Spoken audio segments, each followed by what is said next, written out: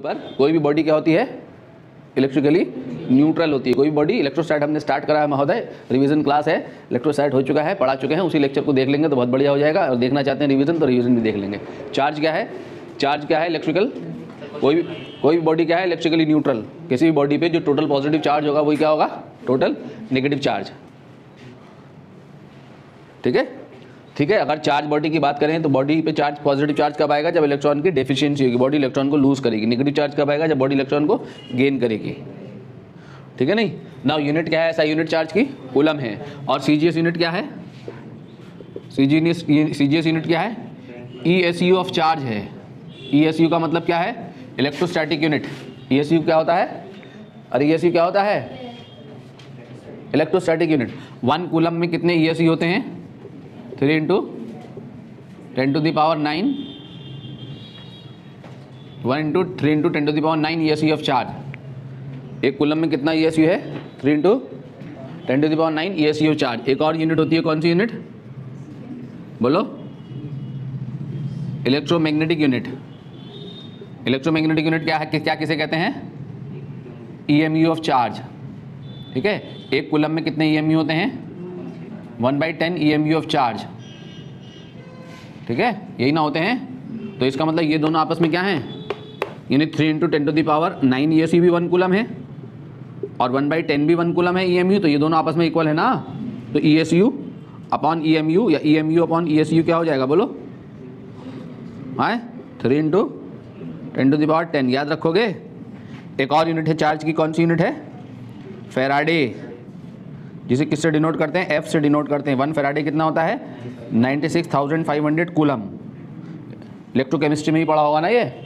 Faraday 96,500 coulomb charge की unit है ठीक है ना फंडामेंटल क्वांटिटी ऑफ चार्ज जल्दी जल्दी से देखेंगे ठीक है बेसिक बातें हैं ये आप जानते हैं बचपन से पढ़ा है जब पैदा हुए थे तब से चार्ज पढ़ना शुरू करा था तुमने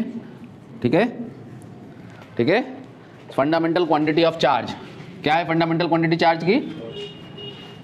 fundamental quantity of charge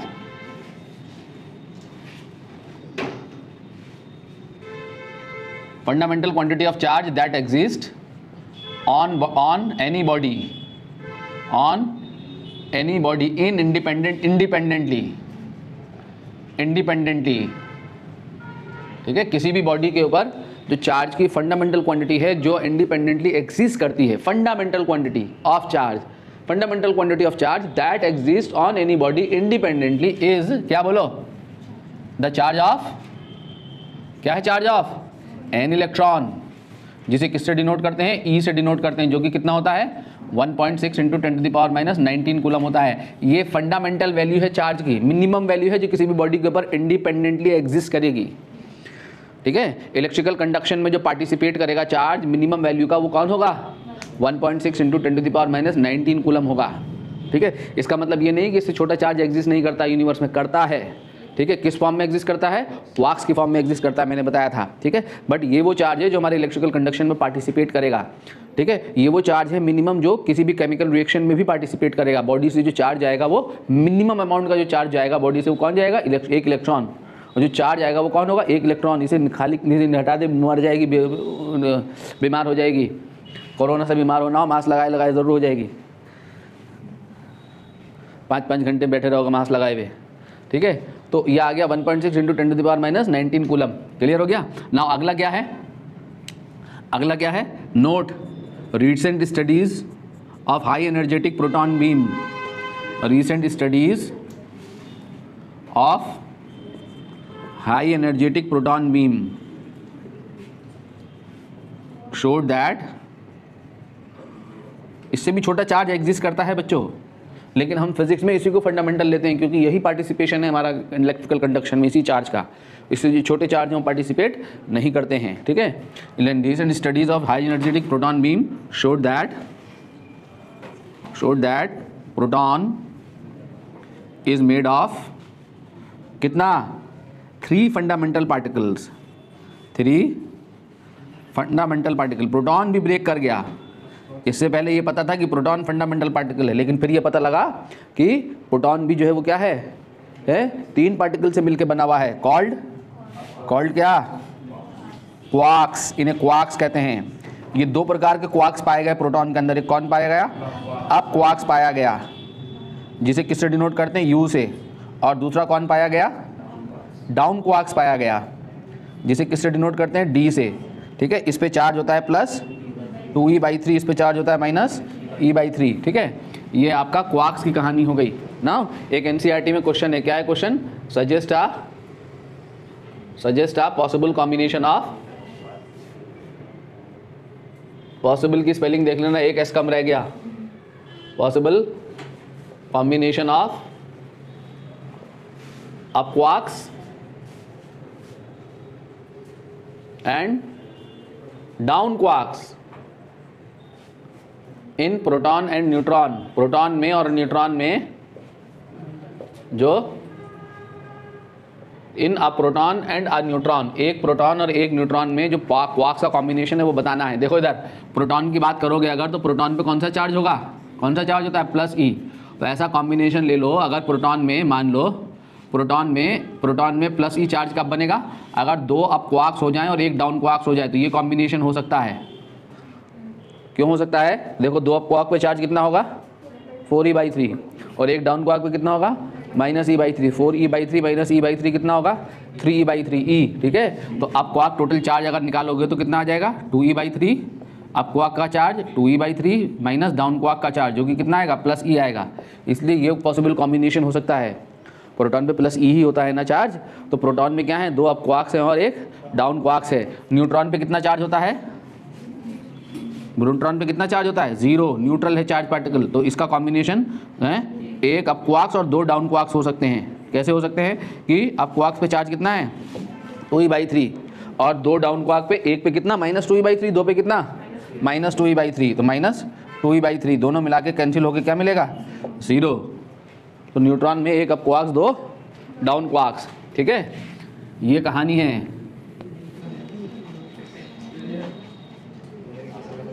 methods of charging of body methods of क्या क्या मेथड है बॉडी को चार्ज करने की तीन मेथड है क्या है बाय फ्रिक्शन ओनली फ्रिक्शन में हम क्या करते हैं by conduction only by induction only क्या करते हैं बाय फ्रिक्शन में by rubbing two suitable bodies together क्या होता है एक बॉडी से इलेक्ट्रॉन निकल के दूसरी बॉडी में चले जाते हैं जिस बॉडी से इलेक्ट्रॉन निकल के जाते हैं उस पर पॉजिटिव चार्ज आता है और जिस पे इलेक्ट्रॉन जाते हैं उस पर कौन सा चार्ज आता है नेगेटिव चार्ज आता है दो बॉडीज़ को आपस में रब करने पर बचपन से पढ़ रहे हो ठीक है एक बॉडी से इलेक्ट्रॉन निकल के दूसरी बॉडी में चले जाएंगे ठीक है now by conduction only conduction में क्या होता है by touching two conducting bodies हैं बाय टचिंग या making contact by connecting two conducting bodies together by connecting two conducting bodies together ठीक है दो कंडक्टर्स को आपस में कनेक्ट करेंगे तो एक पे चार्ज होगा एक पे अनचार्ज होगा तो वो चार्ज हो जाएगी अगर मेरे पास ये कंडक्टर है मान लो कितने रेडियस का आर रेडियस का इस पे चार्ज कितना है प्लस क्यू और ये दूसरा कंडक्टर है सुन ले छोकरो सेम रेडियस का ये कैसा है अनचार्ज है both A and B are connected together and then remove both A and B are connected and removed दोनों ए एंड बी को कनेक्ट करेंगे और कनेक्ट करके जब हम रिमूव करते हैं तो क्या होता है अगर दोनों बराबर रेडियस के हैं दोनों पे जो टोटल चार्ज है इस पर कितना है क्यू इस पर कितना है जीरो तो टोटल कितना हो गया क्यू हो गया तो अगर दोनों बराबर रेडियस के हैं तो क्या होगा दोनों पे बराबर बराबर चार्ज शेयर हो जाएगा Q by two Q by two अगर दोनों अलग अलग रेडियस के हैं तो तो चार्ज जो है चार्ज ऑन कंडक्टर कैसे आता है बोलो अगर अलग अलग रेडियस के हैं तो कंडक्टर पे जो चार्ज होगा डायरेक्टली प्रोपोर्शनल होगा किसके उनकी रेडियस के रेडियस के डायरेक्टली प्रोपोर्शनल होगा अगर दो कंडक्टर्स को आपस में टच करा देंगे अगर दो कंडक्टर को आपस में टच करा देंगे तो उन पर जो चार्ज का रेशियो होगा वो क्या होगा रेडियस के इसमें होगा रेशियो में होगा चार्ज ऑन द कंडक्टर ठीक है तो Q1 निकालोगे इस रेशियो से तो कैसे निकलता है बचपन से सीखा है ना बहुत बार सिखाया है Q1 के सामने वाला R1 अपॉन इन दोनों का sum upon total charge total charge on both the sphere जो शेयर हो रहा है Q1 वन प्लस क्यू यानी टोटल चार्ज ठीक है अगर क्यू वन डैश और क्यू टू डैश निकालना हो मान लो Q one plus Q two Q one ऐसे यहाँ से क्या निकाल लोगे क्यू टू निकाल लोगे ठीक है क्यू टू क्या होगा बोलो R two upon R one plus R two into this total charge Q one plus Q two कहाँ से आता है ये रिलेशन कैपेसिटर से आता है relation charge in the conductor directly proportional होता है रेडियस के ठीक है अगर दो अलग अलग रेडियस के कंडक्टर हैं देखो सुन लो छोकरो मान लो ये एक पाँच सेंटीमीटर का रेडियस है और ये दूसरा पंद्रह सेंटीमीटर रेडियस का स्फेयर है कितने सेंटीमीटर का है पंद्रह सेंटीमीटर इस पे इस पर मान लिया क्यू चार्ज है इसको हमने चार्ज करा इस पे चार्ज कितना आया क्यू और इस पर चार्ज कितना है क्यू बाई टू ठीक है both A and B are touch together both A and B are connected दोनों कंडक्टर हैं याद रखना ठीक है are connected and removed and removed question है find final charge on both conductor final charge on both conductors ठीक है तो टोटल चार्ज कितना है बोलो तो सही टोटल चार्ज कितना है Q plus Q by two यानी कितना थ्री के बाई टू दोनों ए और बी को कनेक्ट करे कनेक्ट कराया तो पाँच सेंटीमीटर वाले पे चार्ज आ गया मान लो क्यू वन डैश और पंद्रह सेंटीमीटर वाले पे आ गया मान लो चार्ज क्यू टू डैश ठीक है तो Q one dash upon Q two dash क्या होगा बोलो जल्दी से फाइव बाई फिफ्टीन रेडियस का रेशियो ठीक है तो Q one dash upon Q two dash क्या आएगा बोलो जल्दी से वन बाई थ्री तो यहाँ से क्यू वन डैश निकाल सकते हैं ना तो क्यू वन डैश कितना हो जाएगा वन अपॉन दोनों का sum into total charge Q one dash plus Q two dash और Q one dash plus Q two dash कितना होगा थ्री क्यू बाई टू ठीक है ये आएगा तो क्यू वन डैश कितना आ गया क्यू वन डैश कितना आ गया फोर टू ज़ा eight three Q by eight पहले वाले स्पेयर पे इतना चार्ज बचेगा ठीक है जिसपे क्यू था उस पर कितना बचेगा थ्री क्यू बाई एट और दूसरे वाले पे कितना बचेगा क्यू टू डैश इसी के सामने वाला three upon three plus one four into total charge कितना थ्री क्यू बाई टू कितना आ गया बोलो है नाइन क्यू बाई एट दोनों का सम करो दोनों सम करो ये क्यू टू डैश और क्यू वन डैश कितना आएगा twelve Q by eight twelve Q by eight कितना होगा थ्री क्यू बाई टू पहले चार्ज बाद में चार्ज क्या रहेगा सेम क्या है ये conservation of charge charge can neither be created nor be destroyed सिर्फ क्या कर सकते हैं only can be transferred for from one body to another body ठीक है ये हो गया आपका method of charging by conduction वो पढ़ा तो रहे शेर यार सर कंडक्शन के बाद क्या आ गया है इंडक्शन ओनली इंडक्शन में क्या होता है without without touching two bodies दो बॉडीज को आपस में टच किए बगैर चार्ज करना ठीक है कैसे चार्ज करना है ठीक है अच्छा सबसे पहले अर्थिंग आप जानते हैं ना किसे कहते हैं yes, किसे कहते हैं अर्थिंग अर्थिंग का मतलब क्या होता है पोटेंशियल इज जीरो अर्थ क्या है earth is earth is a good conductor of electricity ठीक है पोटेंशियल क्या ले क्या है लेते हैं हम अर्थ का potential of earth is taken to be zero दो कंडक्टिंग बॉडीज़ को आपस में कनेक्ट करते हैं तो क्या होता है दो अभी अभी हमने देखा जब दो कंडक्टिंग बॉडीज़ को आपस में कनेक्ट करेंगे तो दोनों बॉडीज़ में चार्ज का फ्लो होगा कब तक होता है वो फ्लो जब तक कि दोनों का पोटेंशियल आपस में सेम ना हो जाए ठीक है कहाँ से चार्ज फ्लो करके जाता है हायर पोटेंशियल से लोअर पोटेंशियल की तरफ को इलेक्ट्रिक करंट का फ्लो होता है यानी चार्ज का फ्लो होता है ठीक है पॉजिटिव चार्ज का फ्लो होता है हायर पोटेंशियल से लोअर पोटेंशियल की तरफ को कब तक जब तक कि दोनों कंडक्टर सेम पोटेंशियल पे ना आ जाए ठीक है ये गुड कंडक्टर है कौन इलेक्ट्रिसिटी का कौन अर्थ अरे क्या हो रहा है यार क्या बन रहा है इस बिल्डिंग में ठीक है तो पोटेंशियल अर्थ का क्या होता है ज़ीरो क्लियर और अर्थ कौन है कौन है रे अर्थ ऐसी कोई भी बॉडी ऐसी इलेक्ट्रोस्टैटिक में अर्थ का मानी ये है देखो इलेक्ट्रोस्टैटिक में अर्थ वो है ऐसी कोई भी बॉडी जिसको हम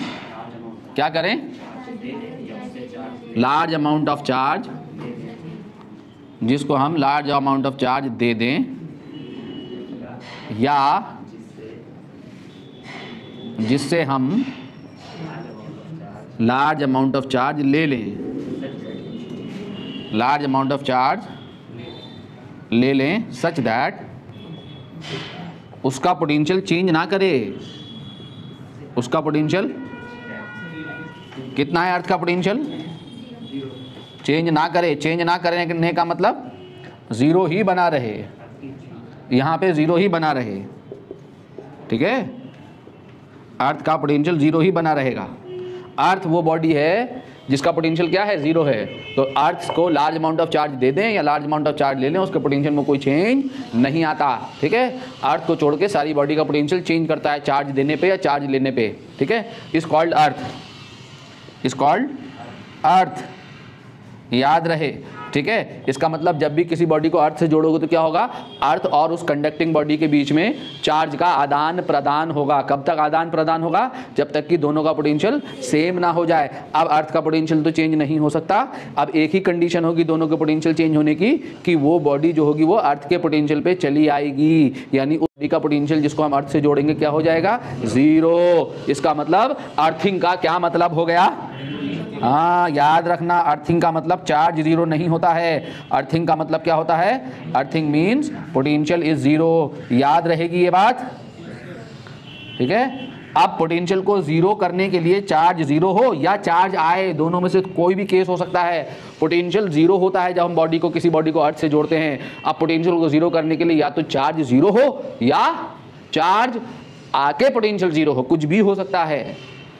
सारे केसेस मिलेंगे आपको इलेक्ट्रोस्टैट में अर्थिंग का मतलब क्या है पोटेंशियल इज जीरो अब मेरी बात सुनो ध्यान से विदाउट टचिंग टू बॉडीज हम दो बॉडीज को क्या करते हैं इंडक्शन की मदद से चार्ज करते हैं मान लो ये बॉडी है जिसको मैंने चार्ज करना है तो मैं क्या करूंगा इसको अगर मैं पॉजिटिवली चार्ज करना चाहता हूं तो इसके सामने निगेटिवली चार्ज रॉड लेके आऊंगा निगेटिवली चार्ज बॉडी लेके आऊंगा ये निगेटिवली चार्ज बॉडी क्या करेगी इसके निगेटिव चार्ज को पुश कर देगी रिपेल करके तो जब पुश करेगी तो इस वाले हाफ में इलेक्ट्रॉन डेंसिटी बढ़ जाएगी एक दो तीन चार पाँच छः सात आठ नौ दस ये वाला हाफ एक्स्ट्रा नेगेटिव चार्ज हो जाएगा और उतना ही ये हाफ क्या हो जाएगा तीन चार पाँच छः सात आठ नौ दस पॉजिटिवली चार्ज हो जाएगा ठीक है इसमें अभी बाहर से ना इलेक्ट्रॉन आए ना इसके इलेक्ट्रॉन गए इसके अपने खुद के इलेक्ट्रॉन चार्ज की शिफ्टिंग हुई है बस ठीक है अब या इसको यहाँ रखते हुए हमने क्या करा बॉडी यहीं रखी हुई है इसको यहीं रखते हुए ठीक है अब हमने क्या किया इसका ये वाला जो पोर्शन है इसको क्या कर दिया आर्थेट कर दिया जब आर्थेट करेंगे तो ये जो ये जो इलेक्ट्रॉन है ये इलेक्ट्रॉन्स निकल के कहाँ चले जाएंगे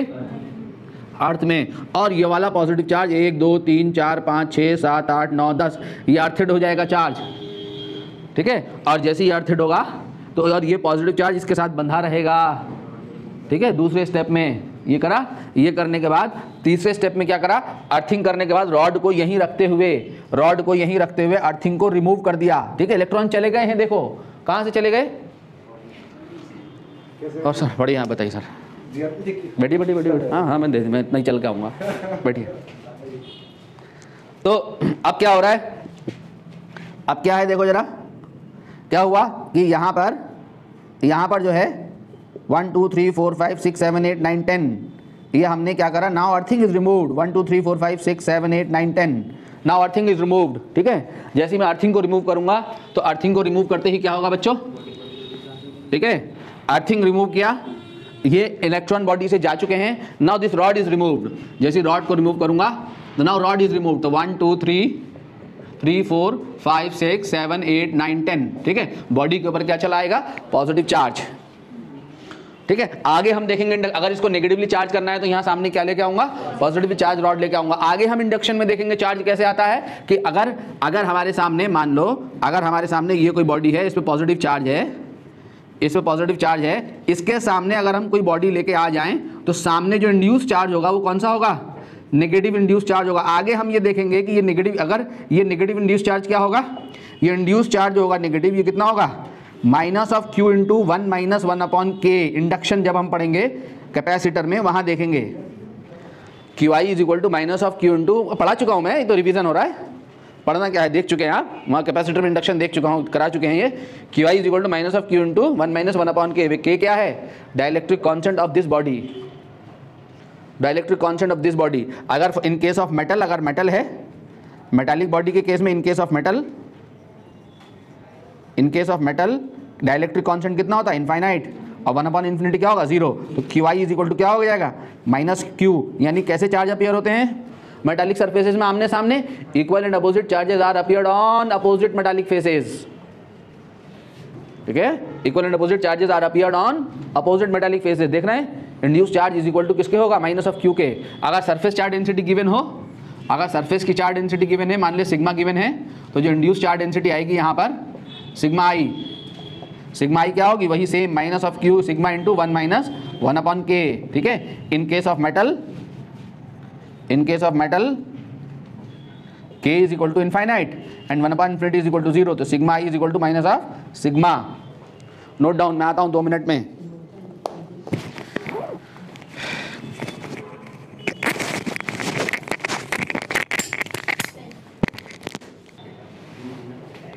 ना कूलम्स लॉ पे जाना है या कहीं और जाना है प्रॉपर्टीज ऑफ चार्ज देख लें एक लाइन में प्रॉपर्टीज ऑफ चार्जेस में सेम चार्जेस रिपेल करते हैं अपोजिट चार्जेस अट्रैक्ट करते हैं चार्ज एडिटिव नेचर का होता है quantization of charge quantization of charge properties में चार्ज की जो प्रॉपर्टीज़ है charge on the body is always in the integral multiple of E क्या है वो इंटीग्रल क्वांटाइजेशन क्या है बोलो किस चीज़ का इंटीग्रल मल्टीपल है चार्ज बॉडी पे किसी भी बॉडी के ऊपर चार्ज या तो प्लस माइनस ई होगा या प्लस माइनस टू ई होगा या ई e के इंटीजर मल्टीपल में होगा यानी total charge on the body क्या होगा एन ई एन क्या है नंबर ऑफ इलेक्ट्रॉन्स तो एन इज इक्वल टू क्या क्यू अपॉन ई फिर कंजर्वेशन ऑफ चार्ज है आपका क्या कहता है conservation of charge charge can neither be created nor be destroyed क्या कर सकते हैं है? सिर्फ एक बॉडी से दूसरी बॉडी पे ट्रांसफर कर सकते हैं इसका बहुत ज़्यादा यूज़ भी होता है न्यूमेरिकल करने में अभी अभी हमने करा था कंजर्वेशन ऑफ चार्ज देखा था तो कंजर्वेशन ऑफ चार्ज में चार्ज के नैदर भी क्रिएटेड नॉर डिस्ट्रॉयड क्या कर सकते हैं सिर्फ ट्रांसफर कर सकते हैं एक बॉडी से दूसरी बॉडी पे या क्यों तो कहें किसी भी आइसोलेटेड सिस्टम के लिए चार्ज क्या बना रहता है constant constant now Coulomb's law अगर हम कूलम्स लॉ की बात करेंगे तो कूलम्स लॉ ये वैलिड है किसके लिए only for point charges point charges के लिए वैलिड है ना कूलम्स लॉ क्या कहता है अगर दो पॉइंट चार्जेस हैं इन दोनों पॉइंट चार्जेस के बीच में डिस्टेंस आर अगर है और medium between the charges air है तो फोर्स बिटवीन द चार्जेस जो है कितना होगा force in air between the charges कितना होगा one upon four pi epsilon naught Q one Q two upon R square epsilon naught क्या कहलाता है परमिटिविटी ऑफ फ्री स्पेस या वैक्यूम जिसकी वैल्यू कितनी है एप्सलन नॉट की eight point eight five four into ten to the power minus twelve coulomb square per newton per metre square ठीक है और one upon four pi F Selan naught की value four pi F Selan naught रख देंगे सब कुछ कितनी आती है nine into ten to the power nine newton metre square पर कूलम स्क्वायर ठीक है अगर medium between the charges charges के बीच में जो है क्या आ जाए कौन आ जाए चार्जेस के बीच में कौन आ जाए मीडियम आ जाए ठीक है तो फोर्स बिटवीन द चार्जेस जो होगा मीडियम में वो क्या हो जाएगा one upon four pi epsilon naught K Q one Q two upon R square ठीक है जहाँ यहाँ के क्या है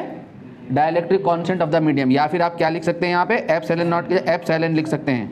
जहाँ एफ सेलन क्या है मीडियम की परमिटिविटी है ठीक है ये क्या होती है मीडियम की परमिटिविटी किसके बराबर होती है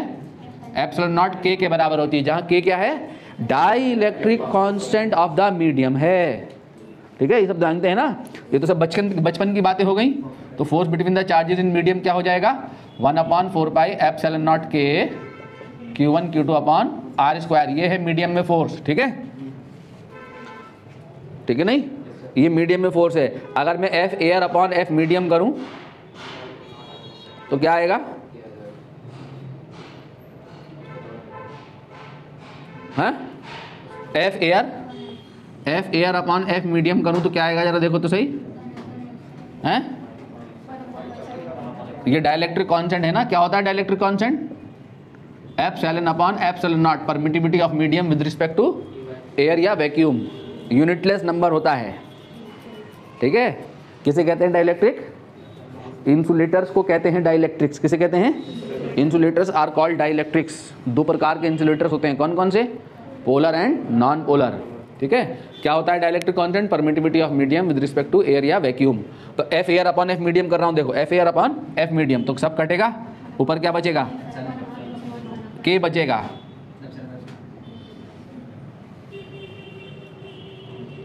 ठीक है तो एफ मीडियम जो है वो क्या आएगा तो ये भी निकाल सकते हैं यानी डायलैक्ट्रिक कॉन्सेंट क्या चीज़ है एयर में फोर्स अपॉन मीडियम में फोर्स का रेशियो चार्जेस के सिस्टम को एयर में रखा फोर्स मेज़र करा फिर उन्हीं चार्जेस के सिस्टम को जिस मीडियम का डायलैक्ट्रिक कॉन्सेंट निकालना है उस मीडियम में ले जाके रखा फिर वहाँ फोर्स मेज़र किया दोनों का रेशियो डायलैक्ट्रिक कॉन्सेंट है F air upon F medium ठीक है तो एफ मीडियम क्या होगा ज़रा बताओ तो सही एफ एयर अपॉन के यानी जब भी चार्जेस का सिस्टम मीडियम में जाएगा तो फोर्स जो होगा वो के टाइम्स रिड्यूस होगा नाउ सेंस देखो जरा फॉर एयर और वैक्यूम एयर के लिए या वैक्यूम के लिए के की वैल्यू कितनी होती है और ये के की कौन सी वैल्यू है महोदय मिनिमम वैल्यू है के कभी भी एक से छोटा नहीं हो सकता है ठीक है और फॉर मीडियम मीडियम के लिए के क्या होता है ग्रेटर देन वन होता है ऑलवेज डायलैक्ट्रिक कॉन्सेंट मीडियम के लिए वन से ग्रेटर होगा और जब वन से ग्रेटर नंबर से डिवाइड करोगे तो मीडियम क्या मिलेगा लेस मिलेगा किससे एफ एयर से इसका मतलब दो चार्जेस के बीच में मैक्सिमम फोर्स कहाँ पे एक्ट करेगा जब चार्जेस का सिस्टम कहाँ रखा हुआ होगा एयर में या वैक्यूम में चार्जेस जब भी मीडियम में जाएंगे तो फोर्स क्या होगा रिड्यूस्ड हो जाएगा ठीक है और मेटल्स में क्या होगा इन मेटल्स मेटल्स के लिए के की वैल्यू क्या होती है इनफाइनाइट तो फोर्स जो हो जाएगा वो, वो क्या हो जाएगा ज़ीरो ठीक है मेटल में चार्जेस के बीच में फोर्स क्या होगा ज़ीरो जब इन्फिनिटी डालोगे यहाँ ठीक है तो के की वैल्यू इन्फिनिटी होती है मेटल के लिए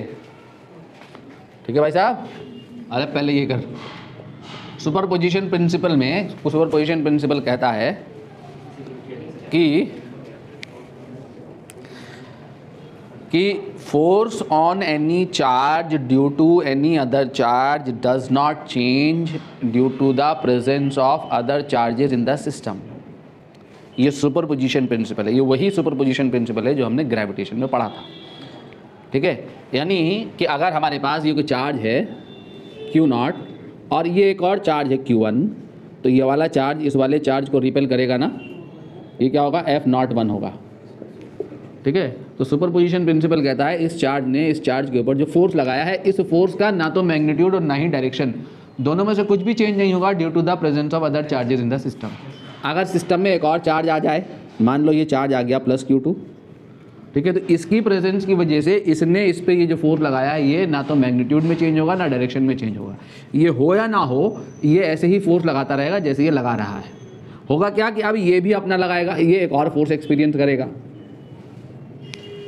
इस फोर्स की वजह से ये फोर्स अफेक्टेड नहीं होगा इस फोर्स की वजह से इस फोर्स ये फोर्स अफेक्ट नहीं होगा इसकी प्रेजेंट इसके फोर्स को चेंज नहीं करेगी इसकी प्रेजेंस इसके फोर्स को चेंज नहीं करती ठीक है एनी नंबर ऑफ चार्जेस हों सिस्टम में तो किसी भी एक चार्ज की वजह से फोर्स अदर चार्जेस की वजह से जो फोर्सेज होंगे उनकी वजह से अफेक्ट नहीं करता है ये आपका सुपर पोजिशन प्रिंसिपल है एफ नॉट एन ठीक है तो नेट फोर्स जो हो जाएगा on this charge placed at P वो क्या हो जाएगा vector sum of individual forces due to individual charges net force कितना हो जाएगा vector sum of individual forces due to individual charges अब आप वेक्टर सम करना जानते हैं अगर आपने दो वेक्टर का सम करना है तो आप पैरेललोग्राम लॉ लगाएंगे और दो से ज़्यादा वेक्टर का सम करना है तो आप क्या लगा रहे होंगे कंपोनेंट मेथड लगा रहे होंगे ठीक है नहीं ऐसा काम आप करते कर सकते हैं जैसे क्वेश्चन हम देखें यहाँ अगर मान लो हमारे पास हमारे पास मान लो ये इक्विलेटरल ट्रायंगल है 10 मीटर साइड का एक इक्विलेटरल ट्रायंगल है ठीक है 10 मीटर साइड का ये इस साइड का मिड पॉइंट हो गया तो ये कितना हो गया पाँच मीटर ये कितना हो गया पाँच मीटर इस पर चार्ज रखा हुआ है मान लो हंड्रेड कुलम इस पर रखा हुआ है माइनस हंड्रेड कुलम यहाँ रखा हुआ है प्लस सेवेंटी फाइव कुलम यहाँ रखा हुआ है वन कुलम ये ट्रायंगल है ए बी सी और डी हमसे कह रहा है कि find net force on charge place at the vertex A find net force on charge one coulomb place at A तो ए पे जो चार्ज है ये निकालना है तो ए पे जो फोर्स है वो निकालना है हमने चार्ज पे तो इस पे फोर्स निकालने के लिए फोर्स कैसे निकालेंगे देखो इस चार्ज के ऊपर फोर्स लगाने वाले कितने चार्जेस हैं दो कहाँ हैं एक दो तीन चार्जेस हैं तो इस पर क्या होगा कितने फोर्स आएंगे तीनों की वजह से फोर्स आएंगे और उन तीनों का क्या निकाल देंगे रिजल्टेंट रिजल्टेंट कैसे निकाल देंगे कंपोनेंट वेक्टर मेथड लगा के ठीक है तो सबसे पहले इस वाले चार्ज की वजह से निकालो देखो ये वाला चार्ज इसको क्या करेगा रिपेल करेगा रिपल्शन कहाँ होगा इस लाइन के अलॉन्ग यहाँ होगा ये होगा इसे कहेंगे F A B force on charge A due to charge at B ठीक है इसको देखो ये वाला चार्ज इसको क्या करेगा अट्रैक्ट क्या होगा ये attraction F F A C force on charge due to charge at C और ये वाला चार्ज इसको क्या करेगा रिपल क्या होगा रिपल्शन बोलो F A D force on charge at A due to charge at D ठीक है याद रहे फोर्स जब भी हम निकाल रहे होंगे तो फोर्स का मैग्नीट्यूड निकालते समय चार्जेस के साइन को नहीं रखेंगे फोर्स में और इलेक्ट्रिक फील्ड में चार्जेस का साइन नहीं रखा जाएगा ठीक है फोर्स का क्या निकालना है ओनली मैग्नीट्यूड चार्ज का मैग्नीट्यूड रख के चार्ज अगर नेगेटिव है तो फोर्स निकालेंगे वहाँ भी पॉजिटिव रख के वैल्यू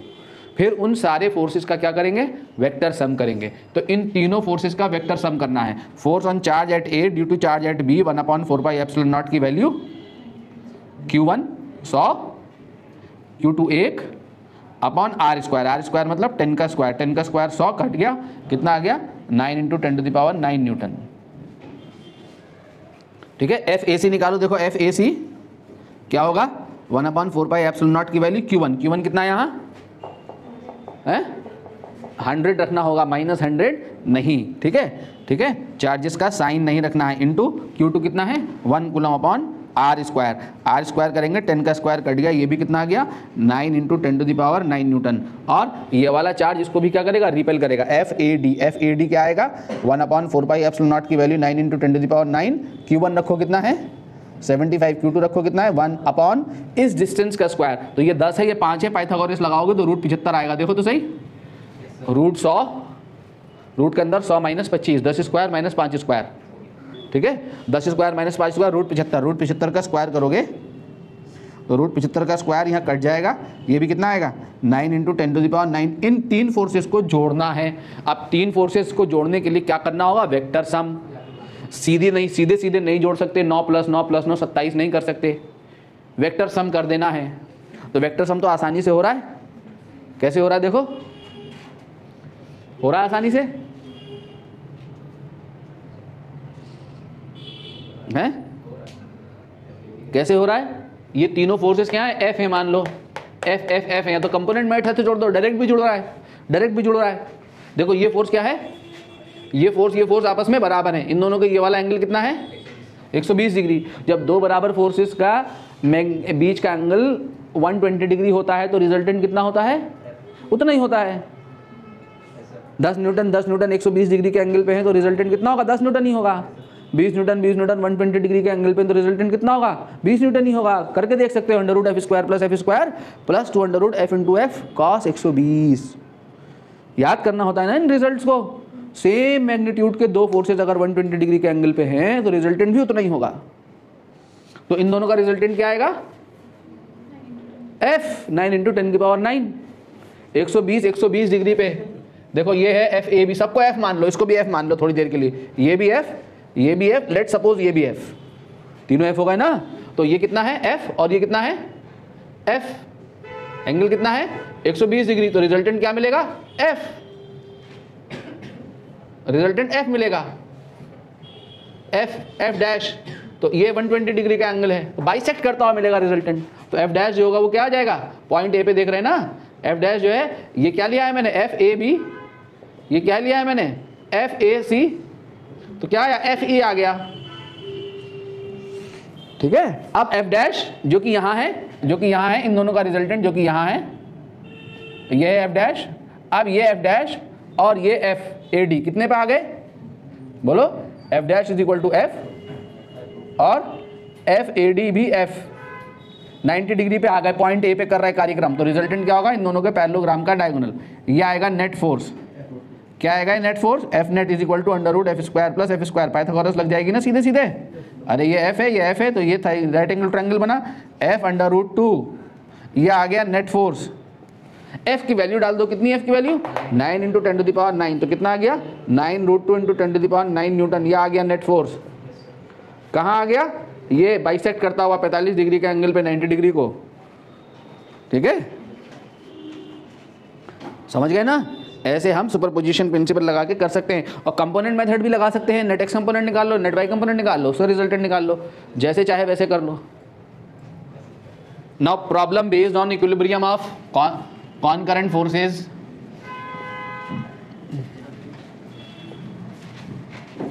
problem based on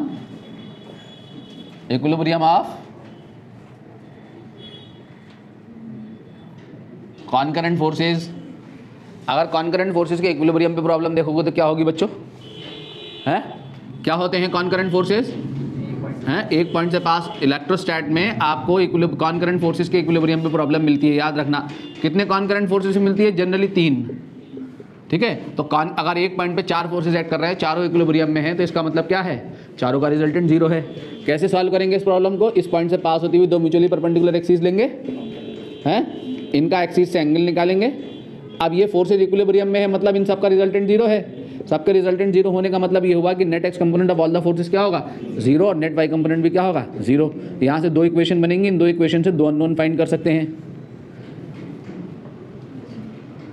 ठीक है लॉज ऑफ मोशन में भी करी है हमने ये प्रॉब्लम रोटेशन डायनेमिक्स में भी करी है अगर थ्री कॉन्करेंट फोर्सेज इक्विलिब्रियम में equilibrium of three concurrent forces अगर तीन कॉन्करेंट फोर्सेज का इक्विलिब्रियम है तो तीन कान करंट फोर्सेज के लिए क्या कर सकते हैं बोलो अगर ये F1 है ये F2 है और ये F3 ये F1 बाकी जो दोनों बचे दोनों के बीच का एंगल अल्फा ये F2 बाकी जो दोनों बचे बीटा ये F3 जो बचे गामा ऐसा है ना अगर ऐसा है तो ये तो कर ही सकते हैं फोर्सेस तीन हो चार हो पाँच हो छः हो सात हो आठ हो ये तो हो ही सकता है अगर इतने फोर्सेज हो तो साथ में काम और हो सकता है जिसका नाम लामी थ्योरम है क्या है एफ वन अपॉन बाकी जो दोनों बचे इन दोनों के बीच का एंगल का sine alpha is equal to F two upon बाकी जो दोनों बचे इन दोनों के बीच का एंगल का sine beta is equal to F three upon बाकी जो दोनों बचे इन दोनों के बीच का एंगल का साइन गामा ये लगा सकते हैं ठीक है तो आपको जो लामी थ्योरी जो मिलेगी equilibrium concurrent forces problem generally कितने फोर्सेस मिलेगी तीन कैसी मिलेगी कहेगा कि दो आइडेंटिकल बॉल जो है एक इंसुलेटिंग स्ट्रिंग से कॉमन पॉइंट से सस्पेंडेड है दोनों बॉल पे चार्ज सेम है और मास सेम है दोनों बॉल का ऐसा कुछ कहेगा कि इक्विलिब्रियम में हर एक स्ट्रिंग वर्टिकल से एंगल बना रही होगी थीटा ये थीटा तो ये भी थीटा दोनों पे चार्ज सेम मास सेम ठीक है ये इक्विलिब्रियम मेंटेन हो गया रिपल्शन की वजह से ऐसे हो गई अगर चार्ज ना होता तो कैसे लटकती है बॉल दोनों सट के लटक जाती है ऐसे वर्टिकल लटकती है ना कोई भी बॉडी चार्ज के रिपल्शन ने इनको ऐसे कर दिया ठीक है तो ये बॉल इक्विलिब्रियम में है ये बॉल इक्विलिब्रियम में दोनों चार्ज बॉल है ठीक है इसके क्वेश्चन करना तो इन दोनों के बीच में कौन कौन से फोर्सेज लगेंगे देखो इन दोनों में रिपल्शन लगेगा कौन सा रिपल्शन इलेक्ट्रोस्टैटिक रिपल्शन फोर्स जो कि कितना होगा one upon four pi F naught charge on both the ball Q one Q two upon R square R हो जाएगी ये डिस्टेंस निकाल सकते हैं अगर ये एल है ये एल है तो ये कितना होगा L sine theta L sine theta distance हो जाएगी टू एल साइन थीटा और नीचे को लगेगा क्या एम जी और इधर को लगेगी क्या हाँ ये तीन फोर्सेज इक्विलिब्रियम में है ये तीनों इक्विलिब्रियम में है तीनों का रिजल्टेंट जीरो है इसलिए रुकी हुई है बॉडी ठीक है यहाँ फोर्सेज को तोड़ दो चाहो तो तो ये थीटा है तो ये क्या है थीटा तो यहाँ पे इसको तोड़ो तो यहाँ पे कंपोनेंट क्या मिलेगा जिससे थीटा बना वाला कंपोनेंट कॉस थीटा दूसरा वाला साइन थीटा इधर को आया एफ ई इधर को आया एम जी तो ये इसको कैंसिल करेगा ये इसको कैंसिल करेगा बैलेंस कर रहे होंगे फोर्सेस तो यहाँ पे दो इक्वेशन बनेंगी एक बनेगी T sine theta is equal to F E एक बनेगी T cos theta is equal to M G equation one equation two इन दोनों इक्वेशन से अननोन जो भी होगा फाइंड कर सकते हो डिवाइड कर दोगे तो tan theta is equal to F E by M G equation मिल जाएगी स्क्वायरिंग करके जोड़ दोगे तो टी मिल जाएगा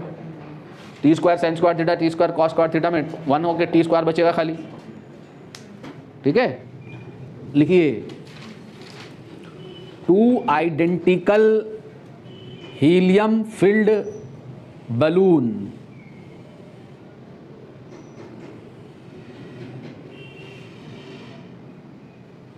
are attached with a common mass m, with a common mass m, by two insulating strings of equal length L.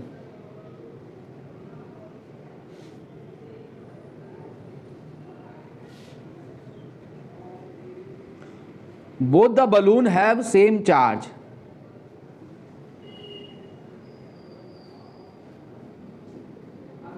Both the balloon have same charge.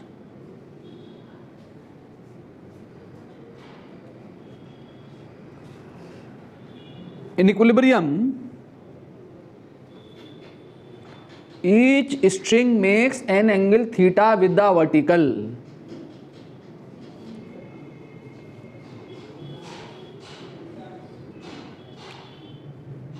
find charge on each balloon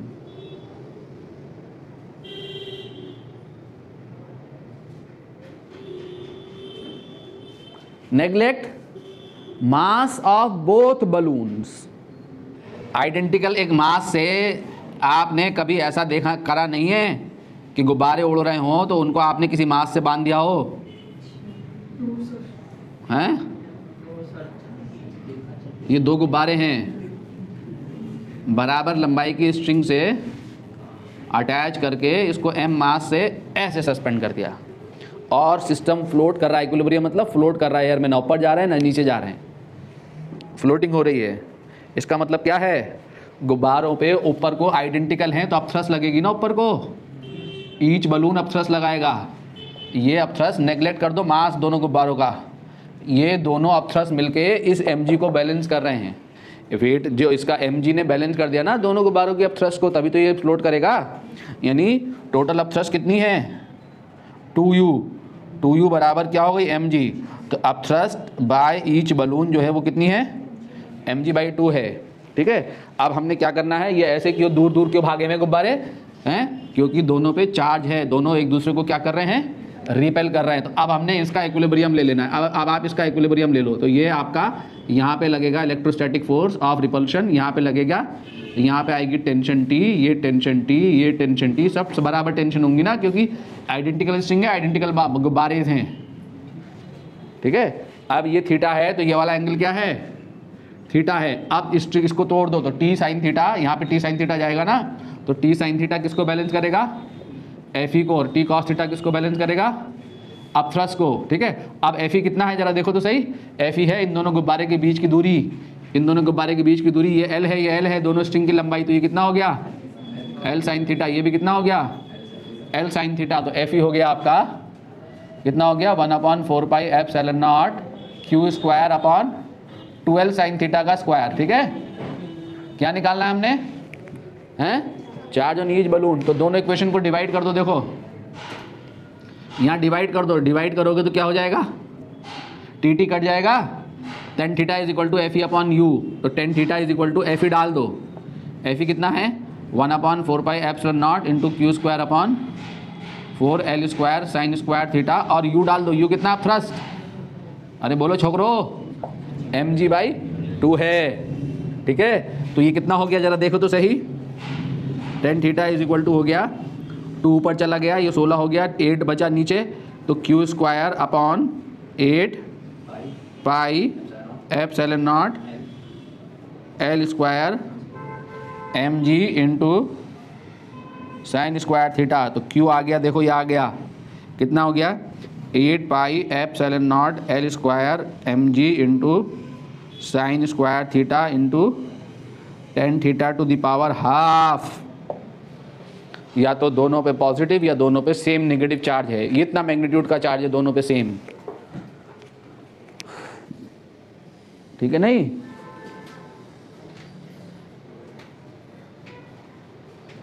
ठीक है बच्चों question लगाएंगे coulomb law पे बहुत सारे अगली class में मिलेंगे इलेक्ट्रिक फील्ड स्टार्ट करेंगे